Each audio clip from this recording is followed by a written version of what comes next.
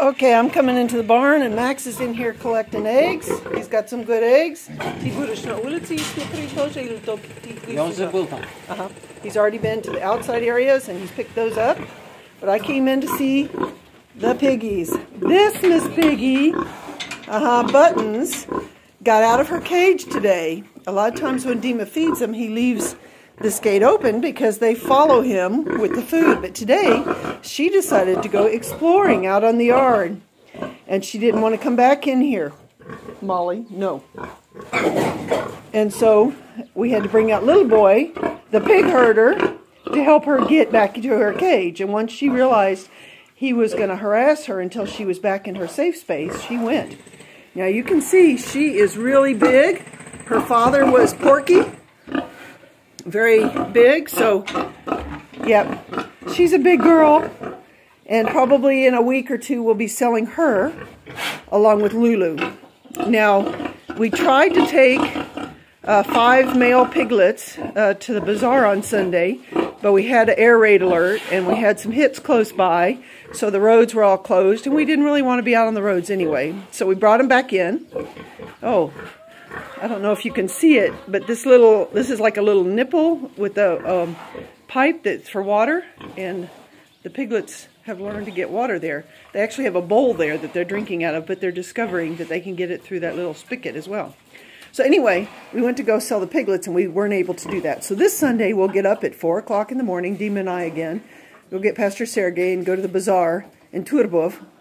Uh, be there about 5 o'clock. Hopefully sell five of the piglets and bring back a little boar. Now we have, out of these piglets, we have five boys and four girls. So we've decided we're going to keep the girls. Oh, see, Mama's drinking there. and a couple of them are coming up to get some of the drink in there. It's amazing how quick they learn. She loves to slurp down the water. And she usually makes a mess. Yes, you do, Miss Mama. Miss Lulu. And you can tell that she's gotten a little bit skinny after having her babies and feeding them. So we will let give her a week or two to plump back up a little bit and for her mammary glands down there to dry up. But some of these little piglets you can see, I think, yeah, that's one of the normal ones. There's one that's really big. Haha, yeah, so you can kind of see how big they're getting. Usually I kind of separate them um, at about six weeks and then let them feed on the start formula, which helps them grow. Uh, and then we go sell them. Uh, but this time we're just going to leave them an extra week with her. So I don't know if you can see the size difference. Like this one here is huge, huge. And then you've got one that's a little bit smaller and the one that's much smaller there. So anyway, we're going to keep the four girls. And it used to be that they could all pile into the corner of the box there and only be a third of the area. But now they fill that whole box up in layers. Hi. Hi, guys. Okay, Buttons, quit pulling at my pants back there behind me. Hi. But see how curious they are? They want to come and see. Hi. Hi, guys. How you doing? Huh? Oh, I thought this was water over here, but it's actually their specialty feed. There's two places. Oh, yeah, there's the other place over there. Yeah. So that means that they can kind of split up and they can eat, but oh, I'm, I'm happy to see that they're eating a lot of that feed because that gives them all sorts of vitamins and minerals and it helps them grow. That one back there is a chunk. Yeah, you're a chunk. Mm -hmm. You can see how that middle one is a little bit smaller, but still good sized. I think the smallest one is back over there. You see the little one. And even though they were born and they all looked even in size, you know, as they grow, they're a little bit different. And some people think the little ones are never going to get big, but we've kept some of them. And they've grown really good and been really good pigs for us. So it may just be competition and they're a little bit smaller and weaker. And so they get to eat last. But that's why we've got the feed in two places. But this one is small, but it is not skinny. Yeah. And part of it is also the breed. So the this what mama is is what we call a big white. and they're really long. But then we've got this other breed over here, which is the spotted porky, which is very stocky. Very stocky, very broad, you see. So in the piglets here, you can see that the spotted ones are much bigger, more stocky. That's what kind of why we like that breed. But the white ones, so there is a bigger white one there. They tend to get a little bit longer than fat, than long, than fat. Yeah. Oh, here's a good example. That's not one of the bigger piglets there, but you can see the size difference. So anyway, we've decided to keep four girls, and when we sell the boys, uh, we're going to buy another boy. Um, and so these piglets will grow up while we're gone, and they'll be breeding age probably a month or two after we get back. And so um, we'll be able to continue our pig uh, ministry and, and the feed. One of the things that we're having to think about is while we're gone, there's not going to be any feeding of the homeless. There's other organizations that are doing that, so they're not, you know, left without any resources while we're not feeding. Um, but it's just too much for the long period. And a lot of times in the summer, we stop occasionally. Not every summer.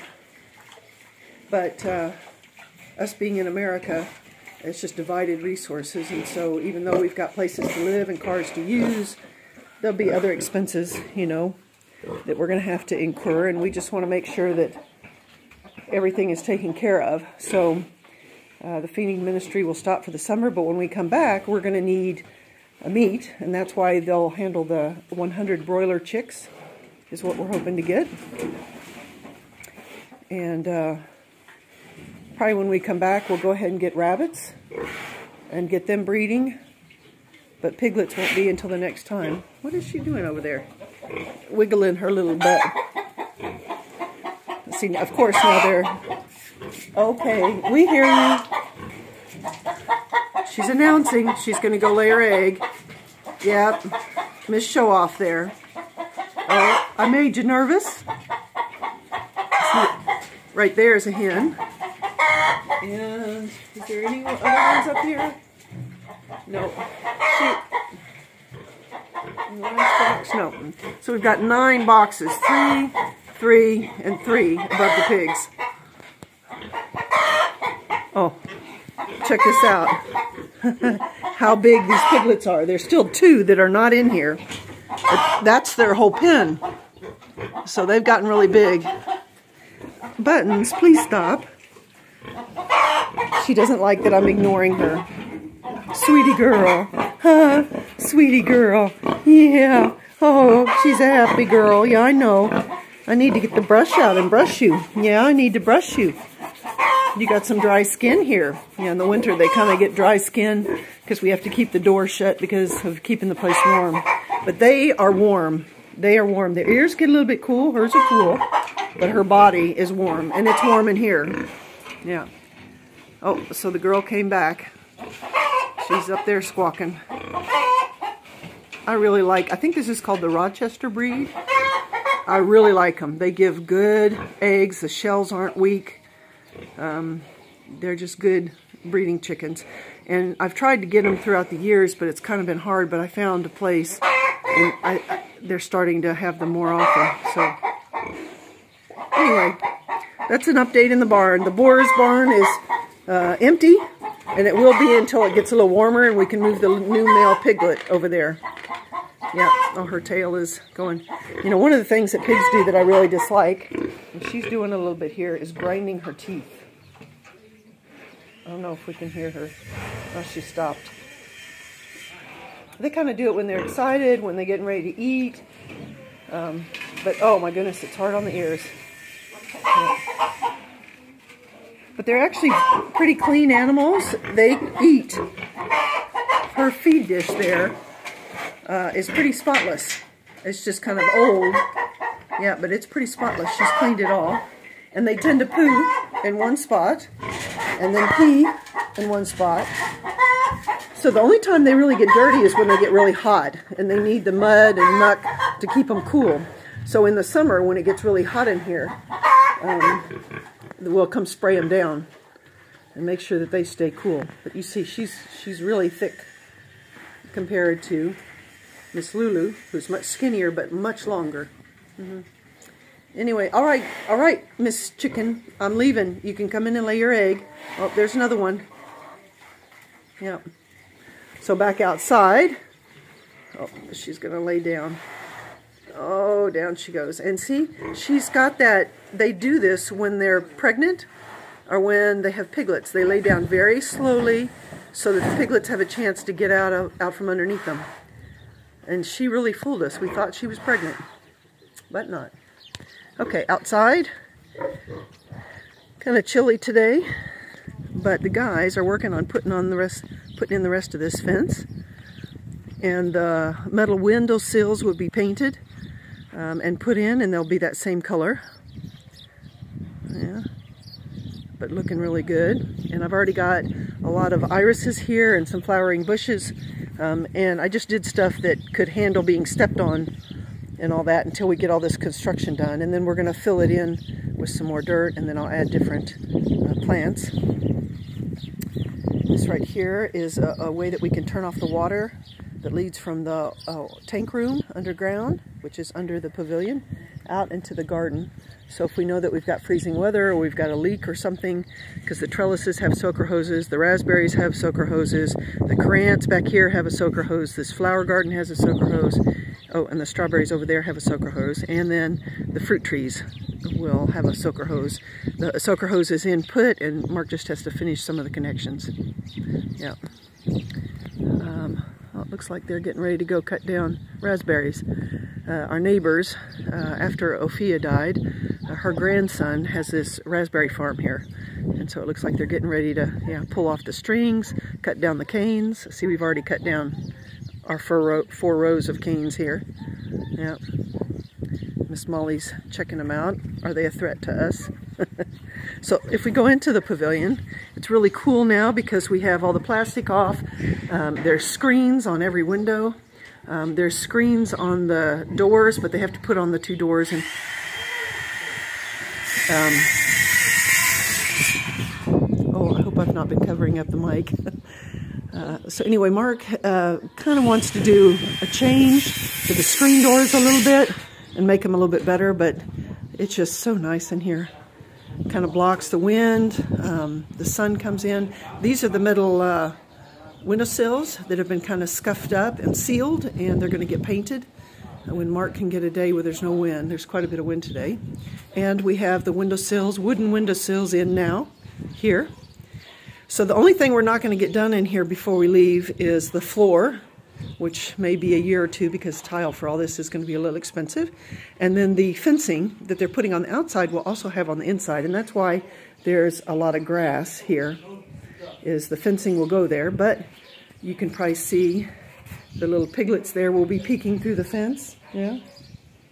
But a lot of the uh, animals that we painted are up above the fence, so they'll be easy to see, like the little, even the little frog here. Yep. But in putting in some of the things, they kind of scuff things up. So I'm kind of waiting for them to finish everything in here, and then I'm going to go and touch up. And one of the first windows, they did some damage, um, which I'll have to touch up. But I've kept all the paints. Uh,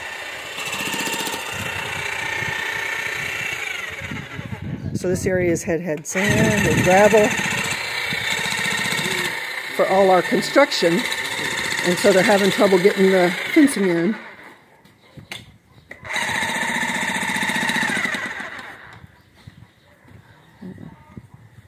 But it's going to look so good. You want to come talk, Mark? Share a little bit?